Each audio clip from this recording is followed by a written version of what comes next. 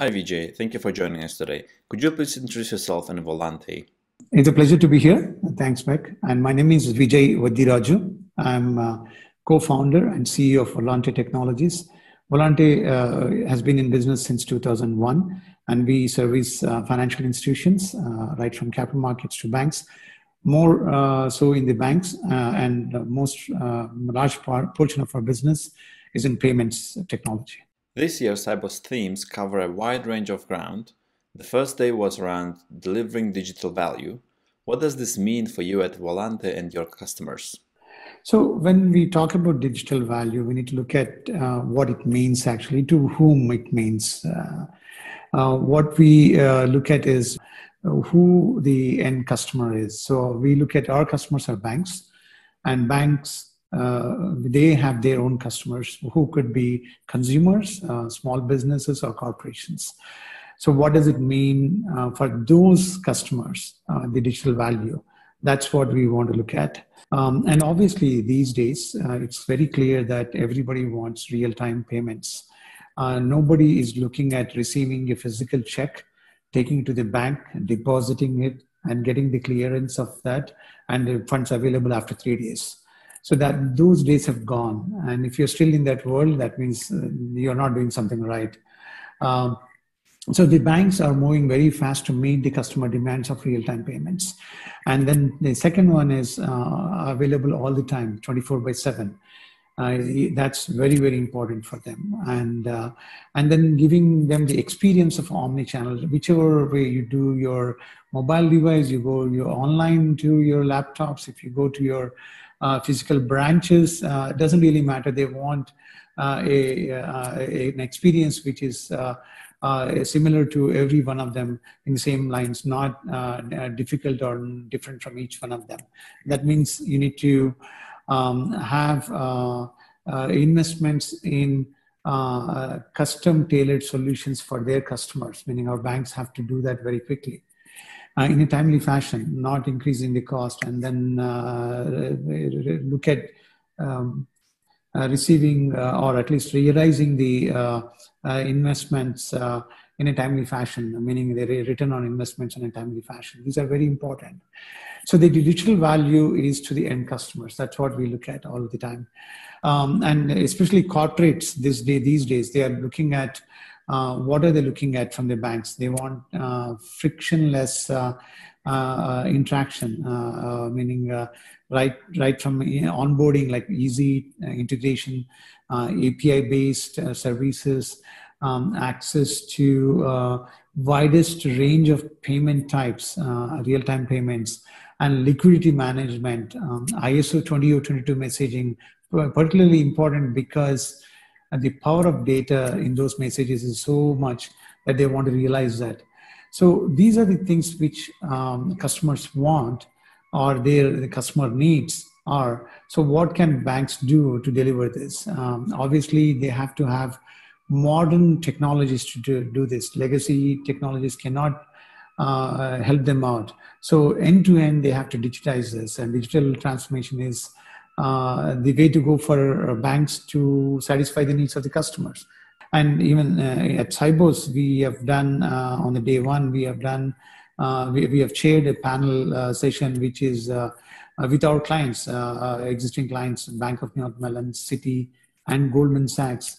They all talked about the exact and the same topic about digital value. And it can be accessed through our website. Uh, you don't have to register for Sibos. You can just go to our website and register volantetech.com and you can listen to the uh, uh, uh, the panel discussion where all these topics are discussed.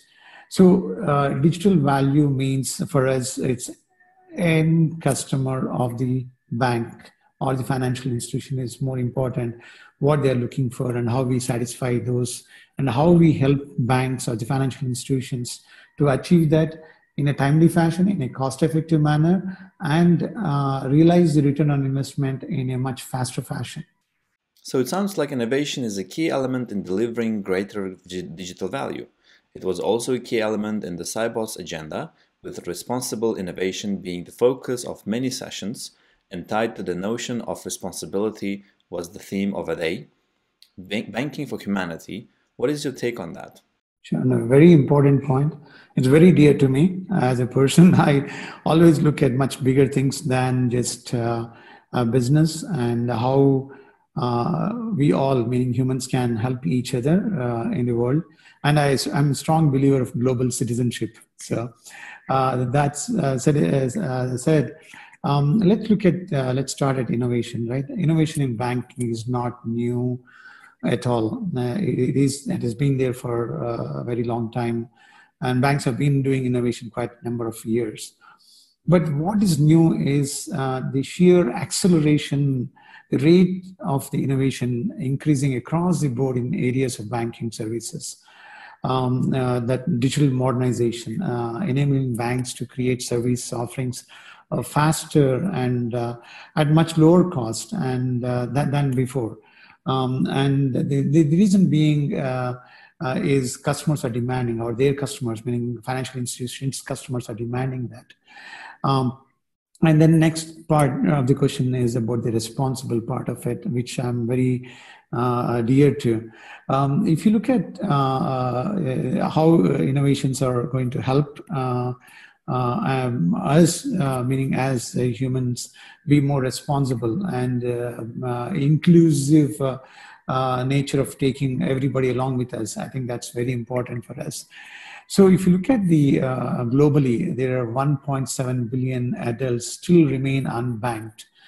That is 31% of adults uh, globally are unbanked. Um, uh, China is leading, uh, followed by India, and seven countries uh, are home uh, to nearly half the world's unbanked population, which is really staggering numbers actually. And if if we can create uh, systems uh, uh, whereby we can include all of them uh, to be uh, uh, doing banking, that will be wonderful actually because it can it can create miracles for upliftment of economies and bringing a lot of people out of poverty. lots of great things can happen. It's going to be very very difficult. So where where does it uh, end then? Or where how do we go and address these challenges or opportunities if you can call them? Um, it's two ways. One is uh, uh banks or the financial institutions um, working with third party providers uh, whether they are cloud providers or fintechs um, collaborating uh, uh, that allows a lot more innovation which is more responsibly uh, uh, important as well for the human humanity uh, benefits. So it's it's innovation not just for the sake of business benefits, but really getting um, everybody getting involved in the world. I think that's that's more important. So, and and what we have done from our part actually is. Um, uh, in the uh, in the in the geographies where we do business, we uh, are trying to um, uh, bring uh, uh, banks, all kinds of banks, not just the banks which are tier one banks, but even smaller and lower end banks.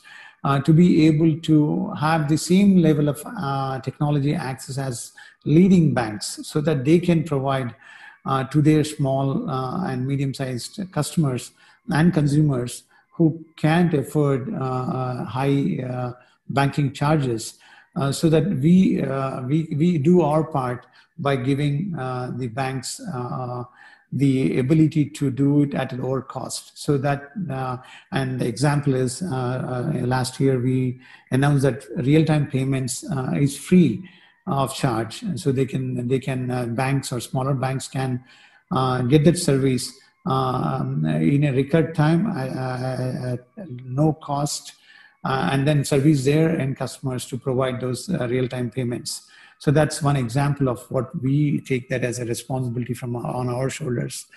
And um, if you look at uh, uh, um, uh, basically the whole idea is lowering the barrier of barriers of entry to technology modernization for every bank, every country, every remote place so that um, everybody gets a chance to uh, be included uh, into the growth of the uh, uh humanity. Basically, we're all growing and we're all um, uh, want to not let others be let down, and we want to take them along with us. So I think this innovation uh, with responsibility will help uh, quite a bit. And I feel like cloud technologies are going to be the forefront of this innovation because uh, for remote places where you cannot go and establish data centers, which are going to be very expensive, not just expensive, it's going to be very difficult uh, to uh, to monitor them,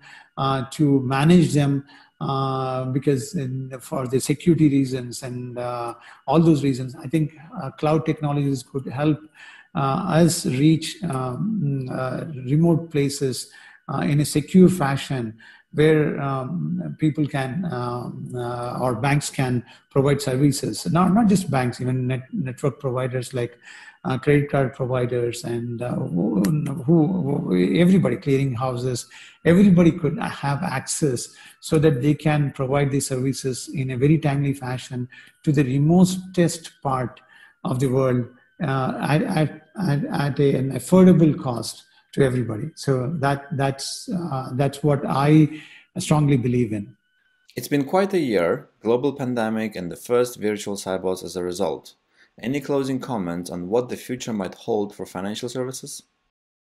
Again, um, it, this is uh, very difficult times for a lot of time, a lot of people uh, throughout the world.